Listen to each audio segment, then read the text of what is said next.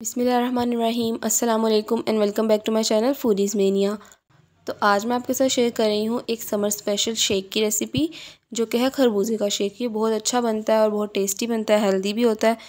तो चलें इसको बनाना शुरू करते हैं। इसके लिए मैंने यहाँ पर लिया है एक बड़ा खरबूजा। इसको हम दो हिस्सों में काट लेंगे और इसके बाद हम इसके बीज निकाल लेंगे। तो बीज को मैंने अलग कर लिया है। इसके बाद हमने खरबूजे को भी चम्मच की मदद से निकालना है। आप चाहें तो छुरी का इस्तेमाल भी कर सकते हैं।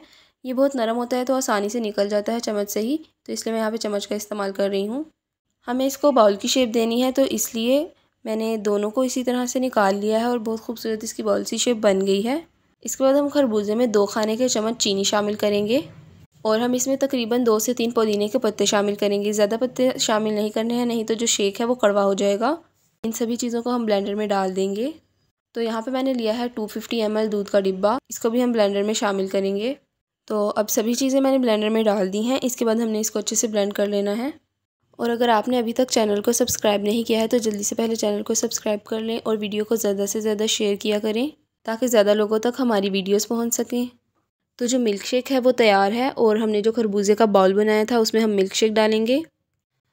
और मैंने यहाँ पे लिए हैं चिया सीड्स वो इसमें शामिल करेंगे। और यहाँ पे मैंने खरबूजे को क्यूबिक शेप में काट लिया था, वो भी इसमें शामिल करेंगे और एक पुदीने का पत्ता लगाएँगे। ताकि ये बहुत खूबसूरत लगे।